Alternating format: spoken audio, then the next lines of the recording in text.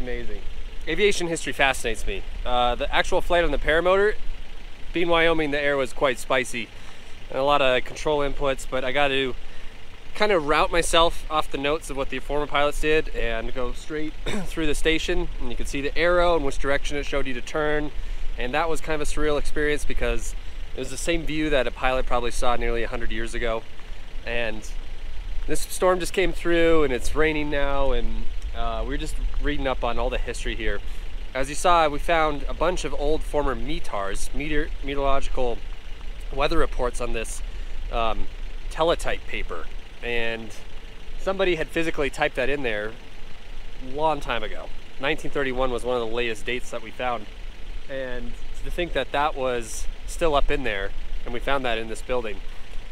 So if you're always worrying about airmail, it, I'll post down some history on it, and especially this one, but just on a, a complete national level, the amount of work that went into trying to get mail to its uh, delivery area the fastest. And it was essentially a race between airplanes and trains. Planes weren't flying, they were only flying during the day.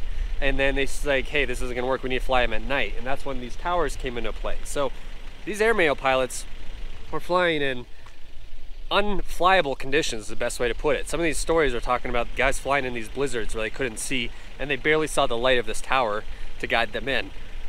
That's incredible to me. I mean, these guys back then, uh, aviation is a tough field in general. And today, it, it, has made it so much easier now because we have a, a thing called an iPad.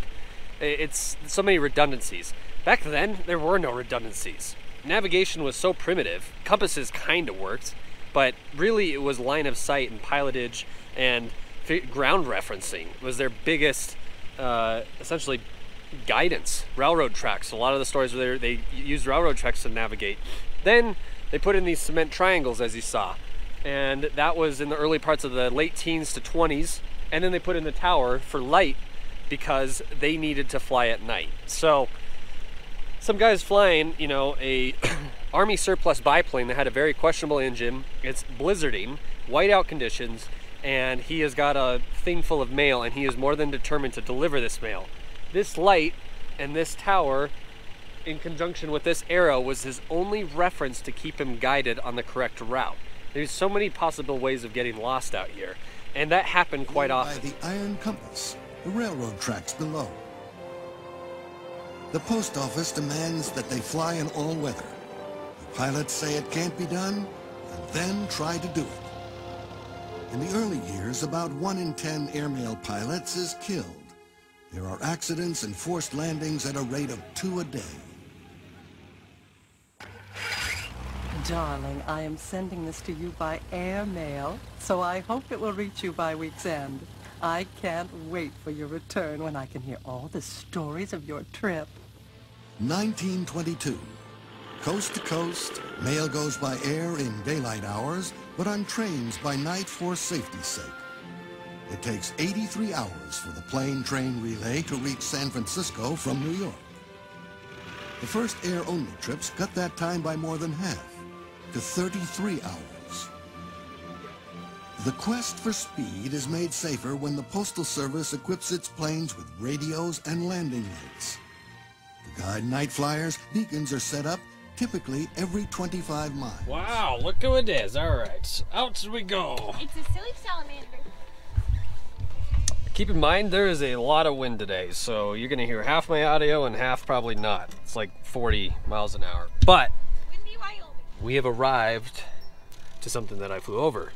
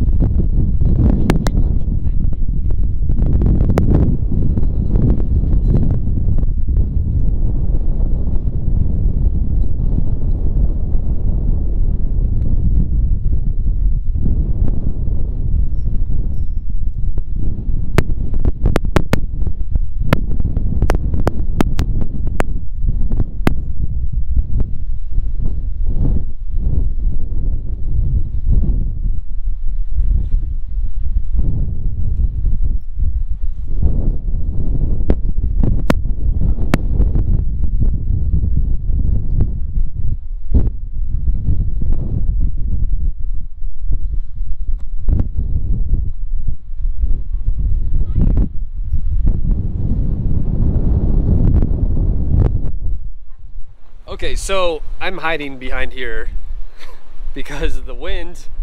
It is gusty like you wouldn't believe today. Like really gusty. 40 knots is what I think they said it was. But this is the tower. And this was the power station. Essentially, there's a generator in here that brought power to that tower and it worked the rotating beacon. Another interesting fact about this, and you'll see in the aerial video, that is a triangle. That, that is essentially is the guidance triangle for the pilots. They would be flying over this mountain range and they'd be coming this way and they would see it from the air, this triangle, and that would point them to the course that they were supposed to go. Incredible how these guys navigated 100 years ago. Like, today we have it so easy with ForeFlight, distancing, compass, wind correction. These guys, when I say that they are like the true aviators, there's nothing that'll compare to these guys and what they did.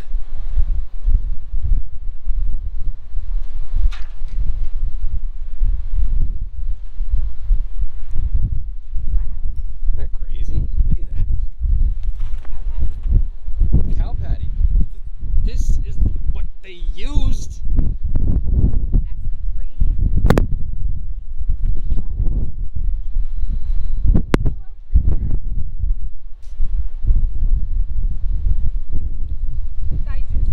Definitely going to climb this tower.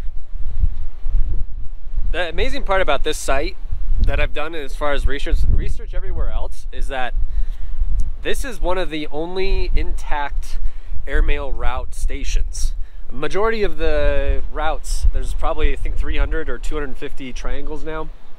This is site number 32 on the West Coast Cheyenne route, and I'll post that route in the description. But this, out of all the sites, as far as the navigational sites, this is the most well preserved and intact. And what I mean by that is that the powerhouse is still standing.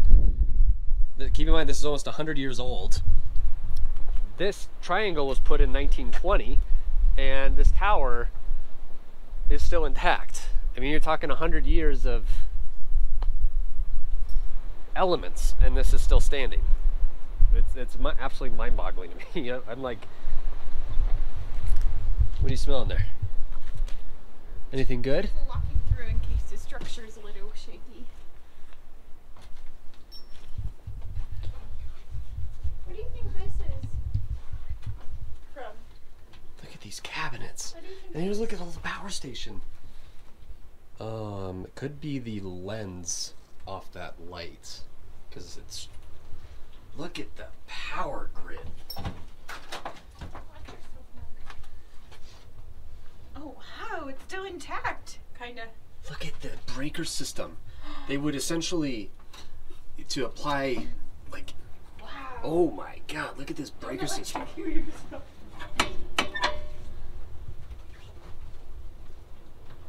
Oh, that is so cool.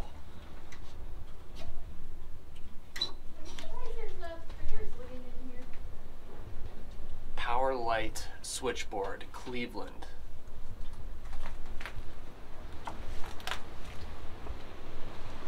What I'm shocked is.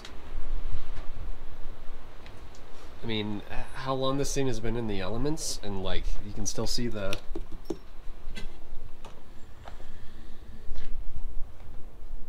Wow. So this was the power.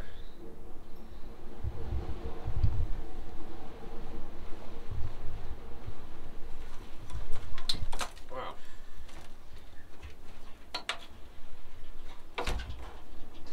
There's a jar here. I don't know what this is. Oh. see what that is. Um, There's a piece of paper right here too. It looks quite ancient. What does it say?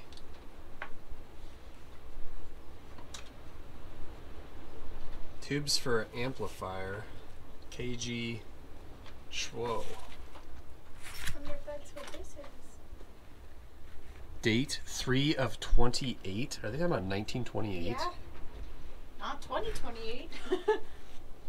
What? There's another piece of paper right here.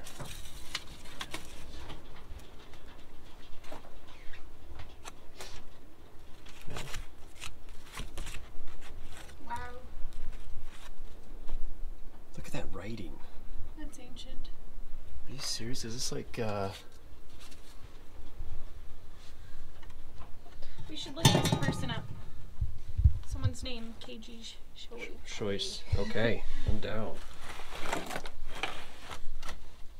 A lot of times stuff was stuffed in the walls too. So this must have been like a, like a coat rack. There's more stuff in the cabinetry. Oh my god, these are like meat. These are like uh, Morse code METARs. Meter, they were air weather. What the heck does this? I put, there's one down here that says 31, but I don't particularly want to stick my hands Oh my way. god. So we're finding a bunch of these. I put two of them up here too. They're like METARs. If in aviation we get a weather report known as a METAR, and it'll report the time, the date, the wind direction, the type of weather, the dew point, if there's rain, the winds, I mean everything. And it's in this kind of like code. There's literally a bunch of these METARs. And this date Wow, this is nuts. I gotta do some more research here.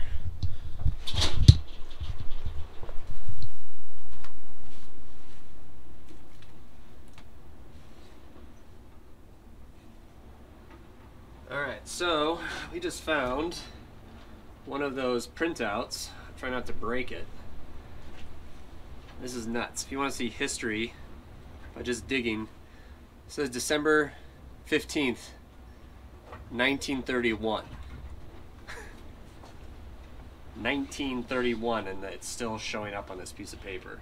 So I'm gonna try to get up in the roof area because um, when I observed it from here and looked up, I saw a bunch of papers.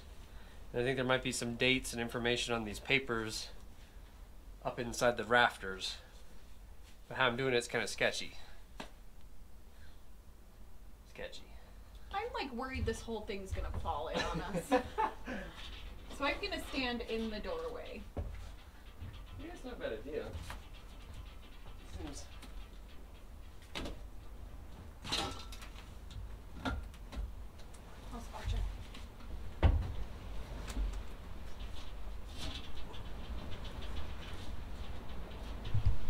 Not writing, but papers. Is. Look at all these. These are just. And what's why I'm trying to grab these is because there's dates and information on them. Um, grab some more.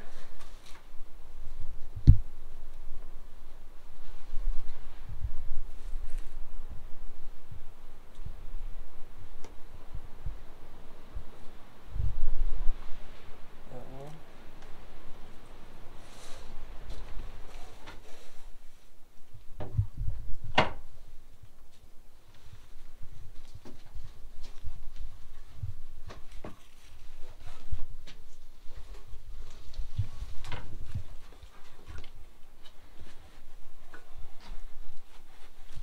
Ooh, there's a lot of stuff up there.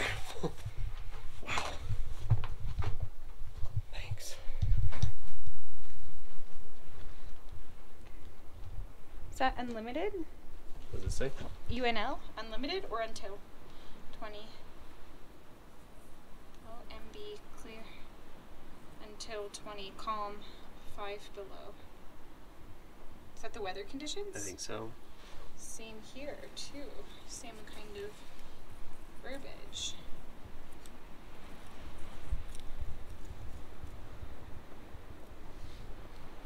And where some of these have the dates on them, don't they?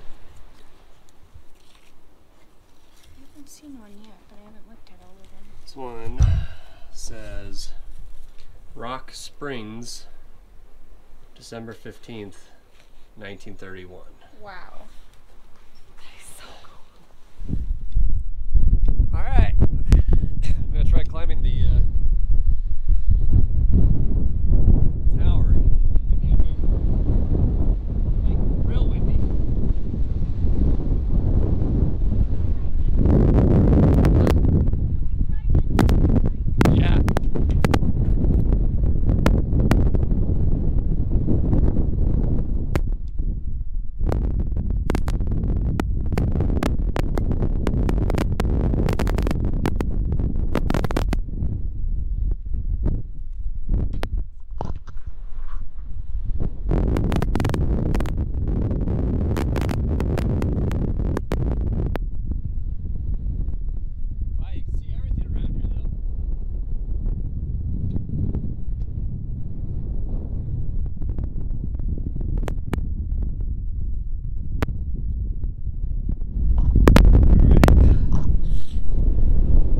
about three quarters of the way up. There's Stevie down there.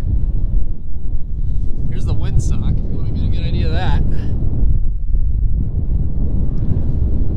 As you can tell, the paint is pretty worn away. This thing's actually much sturdier than I thought. For being up here almost 100 years, I think that's wood up there though, so we're gonna see how sturdy that is up there, but we're gonna keep going. Oh yeah, always. Always.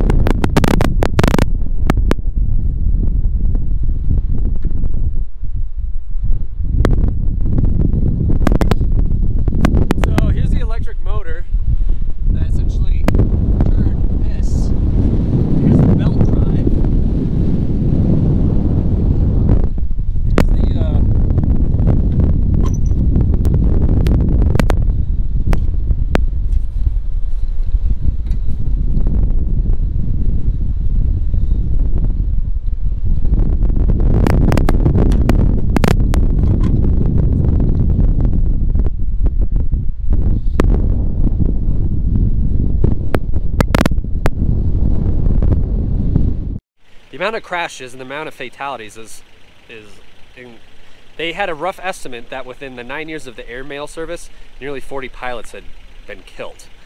Uh, that that number is that's a lot. So it just kind of shows how dangerous this job was. And it, there's literally reports that they called it the the suicide club, and you know, only the most desperate pilots would do this job, and the most gutsy pilots. I, it's definitely an era that I would have loved to have experienced. I don't know if I'd want if I would have survived.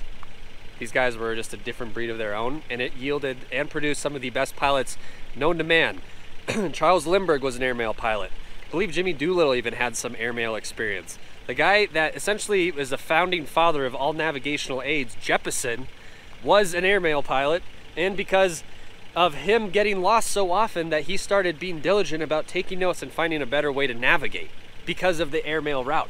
Not to mention that it was this was essentially the backbone of communication in the United States for large stuff. Yes, we had a thing known as a telegram. Yes, you know, Morse code, all that was almost instantaneous as far as communications, but still, this was the main delivery system, and this is what kind of kept America going as far as communication and letters and everything. So, at the end of the day, this is a major part of history the United States as far as just general history, but then in an aviation aspect is an absolute gold. And it's kind of sad to see that this is just sitting and rotting away and I'm kind of determined now to see if there's a way to fix that because this won't be around much longer if it stays in the condition that it is.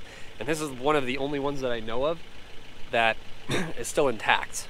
There's a lot of cement circles around, and I'll post another link as well talking about all the cement, uh, not circles, arrows guiding these airmail pilots. A lot, there's a lot of arrows around, um, quite a few, but one with an actual tower and the powerhouse and everything's still there.